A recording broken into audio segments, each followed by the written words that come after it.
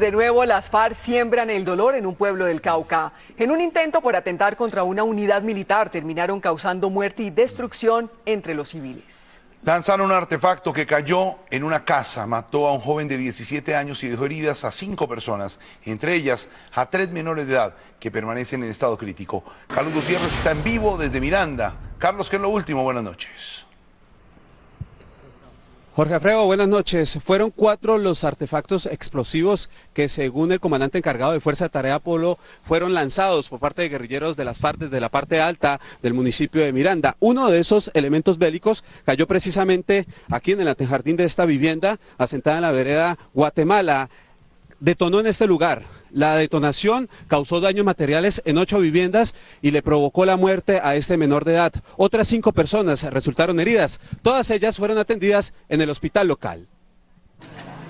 En esta casa, que quedó semidestruida, cayó y explotó el artefacto artesanal. Jordi Gildardo Campos, de 17 años, que cuidaba un ganado en la vivienda, murió de manera instantánea, relató su padre Abel Antonio Campo. Él estaba recogiendo aquí la muñeca para botarla y en, ese momento que lo mataron ahí. Tras el ataque ocurrido en la vereda Guatemala de Miranda Cauca, otras cinco personas resultaron heridas, entre ellas tres menores de edad que fueron atendidas en el hospital local. Fabiola Hurtado, una de las lesionadas, narró los momentos de angustia que vivió la comunidad. Estaba ahí en la casa cuando sentí que cayó algo y me rompió la cabeza y yo vi, vi un humer y yo salí a correr y vi uno caído ahí en la en la puerta.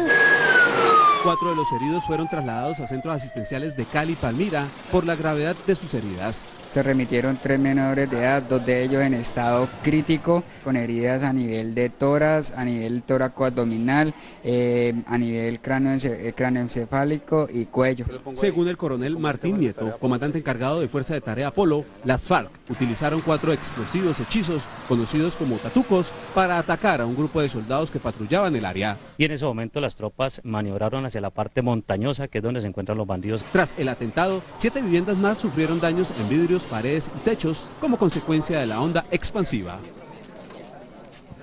Luego del ataque, integrantes de Fuerza de Tarea Apolo ascendieron a la parte montañosa de esta localidad y tuvieron una confrontación armada con los insurgentes. Ellos recibieron apoyo desde el aire de un avión, un helicóptero arpía de la Fuerza Aérea Colombiana. La muerte de este menor de edad ha causado conmoción entre los habitantes de esta vereda, asentada en el municipio de Miranda, en el norte del Cauca. Carlos Gutiérrez, Noticias Caracol.